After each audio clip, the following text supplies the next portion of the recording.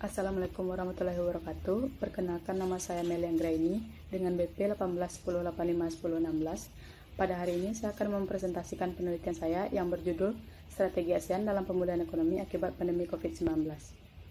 Yang pertama yaitu latar belakang.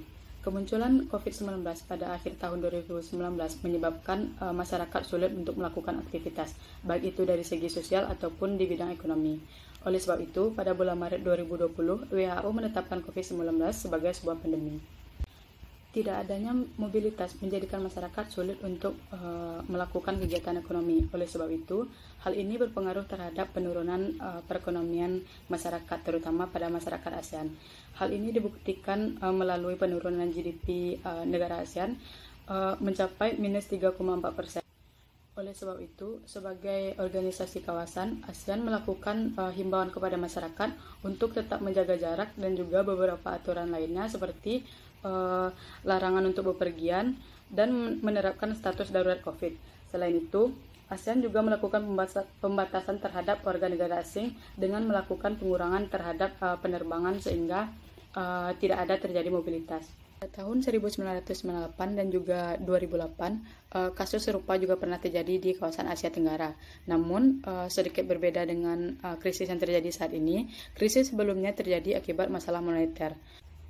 Oleh sebab itu, penelitian ini dilakukan untuk melihat bagaimana uh, strategi atau langkah-langkah yang diambil oleh uh, ASEAN sebagai organisasi kawasan uh, dalam memulihkan perekonomian yang, di, yang diakibatkan oleh pandemi COVID-19. Selanjutnya yaitu rumusan masalah. Melihat krisis ekonomi yang masih terjadi hingga saat ini menyebabkan beberapa perekonomian negara-negara di ASEAN terkena imbasnya.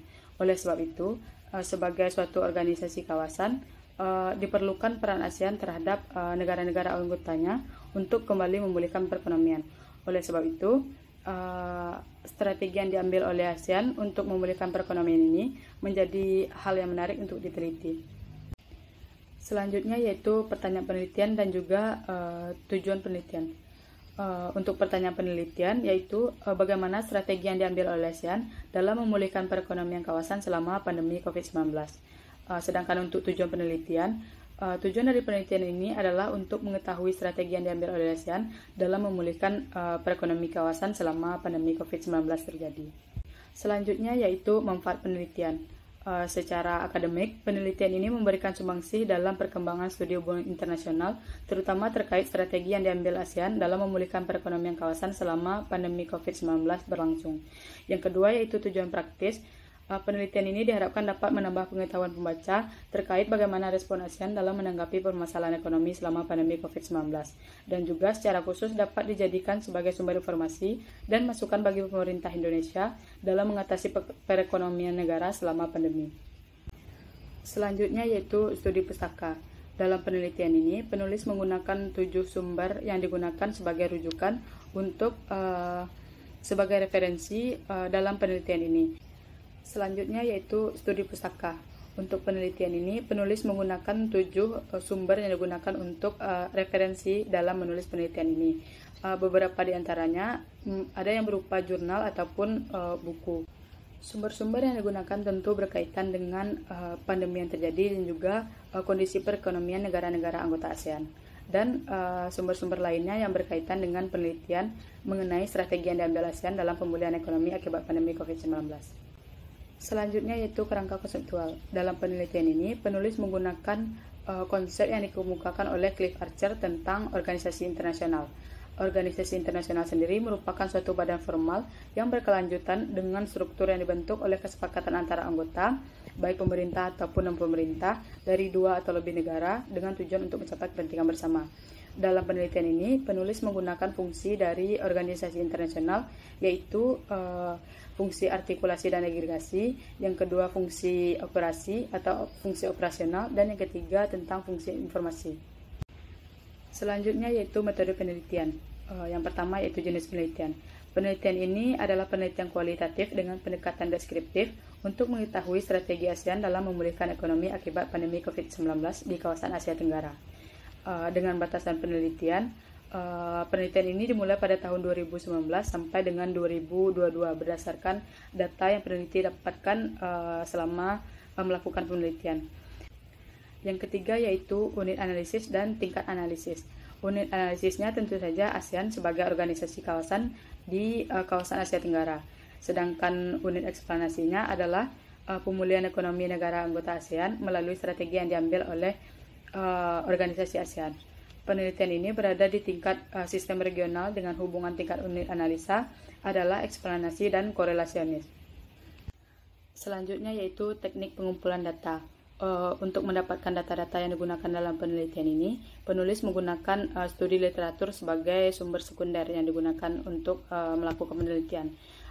Bentuk-bentuk uh, sumber yang digunakan uh, seperti jurnal, dokumen-dokumen uh, resmi dari OECD, dari organisasi ASEAN ataupun dari Kementerian Luar Negeri negara-negara anggota ASEAN.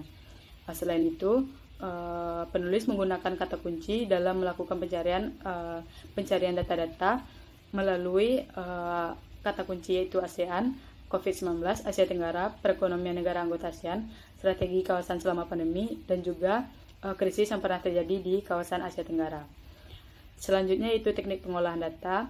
Uh, penulis menggunakan uh, teknik pengolahan data yang uh, dikemukakan oleh Matthew dan Huberman, yaitu terdapat tiga teknik yang digunakan dalam pengolahan data. Yang pertama yaitu uh, memfokuskan data, uh, dengan mengumpulkan data melalui penyaringan dan pencarian data. Yang kedua yaitu data display. Data display dilakukan dengan uh, menyajikan data melalui tabel ataupun kurva. Hal ini dilakukan untuk uh, pembaca lebih mudah memahami uh, hasil dari penelitian tersebut. Dan yang terakhir yaitu conclusion drawing dan juga verifikasi. Uh, hal ini dilakukan dengan uh, memberikan kesimpulan dari data yang telah dikumpulkan dan kemudian difokuskan kembali melalui tabel-tabel untuk mendapatkan kesimpulan yang valid. Selanjutnya itu sistematika penulisan. Pada bab 1 terdapat pendahuluan, bab 2 pandemi COVID-19 dan perekonomian negara anggota ASEAN, bab 3 ASEAN dan krisis ekonomi di kawasan Asia Tenggara, dan bab 4 strategi ASEAN dalam pemulihan ekonomi akibat pandemi COVID-19, dan yang terakhir yaitu uh, bab 5 kesimpulan. COVID-19 dan perekonomian negara anggota ASEAN. Uh, dalam bab 2 ini akan dijelaskan tentang COVID-19 dan juga penyebarannya di kawasan Asia Tenggara. Nah, selain itu, dalam bab 2 ini juga dijelaskan tentang perekonomian anggota ASEAN sebelum dan setelah kemunculan uh, eh, COVID-19. COVID-19 ini merupakan sekelompok virus yang menyerang salur, saluran pernapasan baik uh, pada hewan ataupun manusia. Uh, biasanya penularan penularan uh, COVID-19 ini ditandai dengan batuk, demam dan juga sesak nafas. Uh, sifat virus ini juga mudah menular sehingga uh, tidak butuh waktu lama untuk uh, virus ini berpindah dari satu tempat ke tempat lainnya. Oleh sebab itu, dengan mudahnya penyebaran menjadikan uh, masyarakat di kawasan Asia, Asia Tenggara sulit untuk melakukan uh, kegiatan termasuk dalam bidang ekonomi, sehingga menyebabkan uh, masalah terhadap uh, perekonomian negara-negara di kawasan Asia Tenggara. Sebelumnya, uh, dalam lima tahun terakhir, perekonomian di kawasan Asia Tenggara bergerak uh, naik ataupun uh, stabil. Namun, setelah kemunculan uh, pandemi COVID-19, uh, dalam satu tahun pertama, COVID-19 telah berdampak kepada pendapatan per kapita kawasan Asia Tenggara sebesar uh, yang menurunkan pendapatan per kapita sebesar minus 0,4 persen. Selanjutnya yaitu bab 3 yang membahas tentang ASEAN dan krisis ekonomi yang pernah terjadi di Asia Tenggara. Uh, yang pertama yaitu organisasi ASEAN dan juga perkembangannya. Uh, organisasi ASEAN merupakan organisasi kawasan yang dibentuk pada tahun 1967 yang diinisiasi oleh lima negara dengan tujuan untuk uh, mencapai kepentingan bersama, terutama uh, negara-negara yang berada di kawasan Asia Tenggara. Dalam dalam menjalankan kerjasamanya, ASEAN merujuk pada tiga pilar yaitu sosial sosial budaya, ekonomi, dan juga politik keamanan. Dalam organisasi ASEAN juga terdapat forum-forum diskusi yang digunakan uh, untuk membahas tiga pilar tadi, terutama eh, isu-isu uh, krusial yang menjadi uh, permasalahan bagi organisasi ASEAN. Sebagai organisasi kawasan, uh, tentu ASEAN tidak luput dari permasalahan-permasalahan yang bisa saja muncul uh, ke dalam organisasi tersebut. Uh, salah satunya uh, krisis ekonomi yang pernah terjadi pada tahun uh, 98 dan juga pada tahun 2008.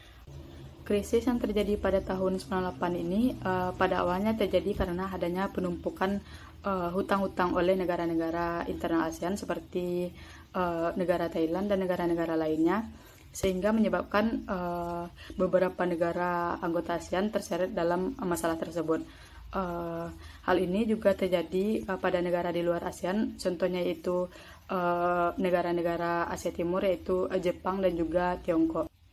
Sedangkan krisis ekonomi yang terjadi pada tahun 2008 disebabkan oleh uh, kemacetan kredit yang terjadi di Amerika Serikat. Uh, Amerika Serikat sebagai uh, negara yang mempengaruhi perekonomian global menyebabkan negara-negara lain juga terkena imbasnya. Oleh sebab itu, kedua krisis yang terjadi mempengaruhi perekonomian negara-negara uh, anggota ASEAN dengan uh, menyebabkan penurunan uh, pendapatan per, per kapita dan juga terjadi inflasi besar-besaran. Krisis yang terakhir yang pernah terjadi di Asia Tenggara yaitu krisis uh, yang terjadi saat ini atau krisis yang disebabkan oleh masalah kesehatan yaitu uh, dengan munculnya pandemi COVID-19. Uh, oleh sebab itu, uh, melalui respon-respon ataupun strategi yang telah dibentuk oleh ASEAN pada krisis-krisis sebelumnya, apakah dapat digunakan atau uh, tidak terhadap uh, krisis yang terjadi akibat masalah kesehatan ini. Dalam bab 4 ini, uh, penulis akan uh, menganalisis tentang strategi ASEAN dalam pemulihan ekonomi akibat pandemi COVID-19 di kawasan Asia Tenggara dengan menggunakan konsep yang dikemukakan oleh Cliff Archer sebelumnya, yaitu uh, konsep mengenai organisasi internasional uh, dan melalui fungsi-fungsi organisasi internasional yaitu fungsi artikulasi dan agregasi, fungsi operasional dan juga fungsi information. Dalam fungsi artikulasi dan agregasi, dalam memulihkan perekonomian kawasan ini, langkah-langkah uh, pertama yang dilakukan oleh organisasi ASEAN atau negara-negara anggota ASEAN dengan melakukan pertemuan-pertemuan yang uh, bertujuan untuk menyatukan pemikiran sehingga uh, dicapai kesepakatan bersama untuk mencapai tujuan uh, uh, berdasarkan kepentingan masing-masing negara.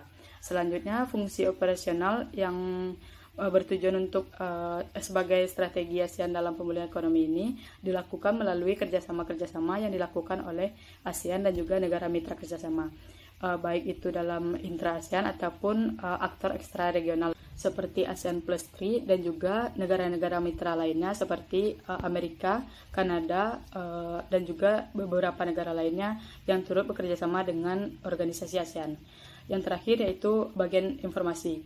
Uh, mengapa bagian informasi ini termasuk ke dalam strategi ASEAN? Karena pada awal kemunculan COVID-19 ini uh, uh, peran or organisasi ASEAN tidak terlalu terlihat. Justru eh, negara-negara uh, anggota ASEAN uh, melakukan pemulihan terhadap perekonomian negara-negara negara masing-masing dengan cara individual.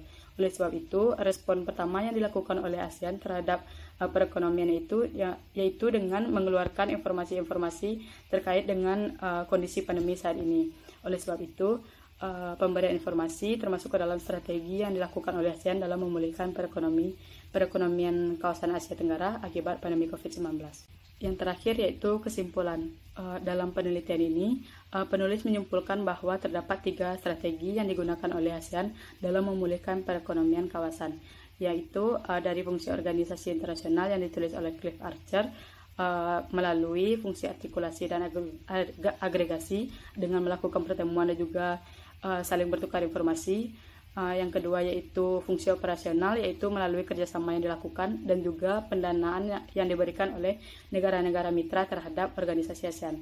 Yang terakhir yaitu uh, pemberian informasi oleh organisasi ASEAN melalui situs web yang, disediakan oleh ASEAN untuk memudahkan para pencari informasi untuk mengetahui kondisi terkini terutama dalam bidang ekonomi. Uh, sekian yang dapat saya sampaikan. Terima kasih. Assalamualaikum warahmatullahi wabarakatuh.